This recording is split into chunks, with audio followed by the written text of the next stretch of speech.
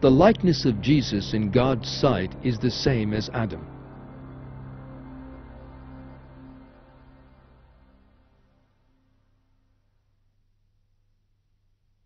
The likeness of Jesus in God's sight is the same as Adam.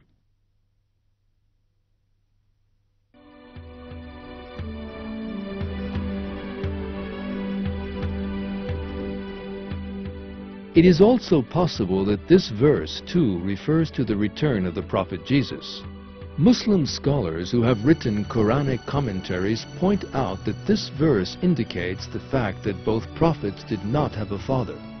For God created both of them with the command, be. However, the verse could also have another meaning.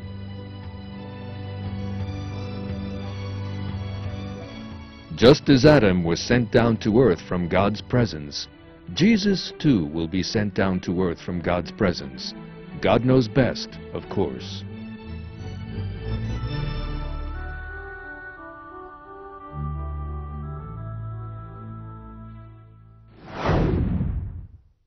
The day I was born, the day I die, and the day I am raised up again alive.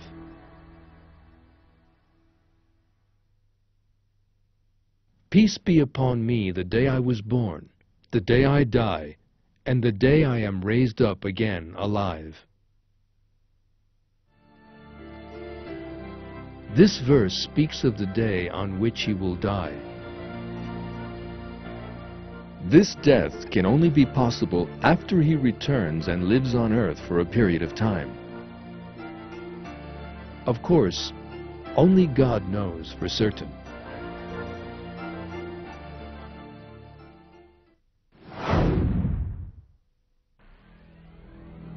You could speak to people in the cradle, and when you were fully grown.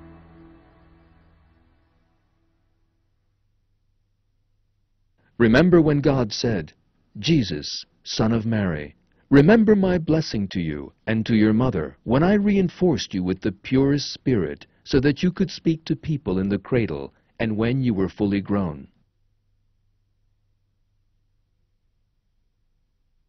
He will speak to people in the cradle and also when fully grown, and will be one of the righteous.